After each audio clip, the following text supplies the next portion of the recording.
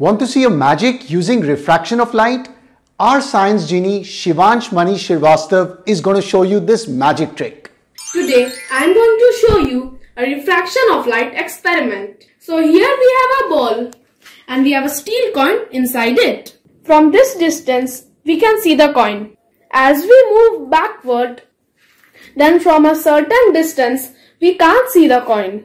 When we pour water into the bowl then we can see the coin. When these reflected rays from the coin reach the surface of water, then they get refracted due to the change of medium.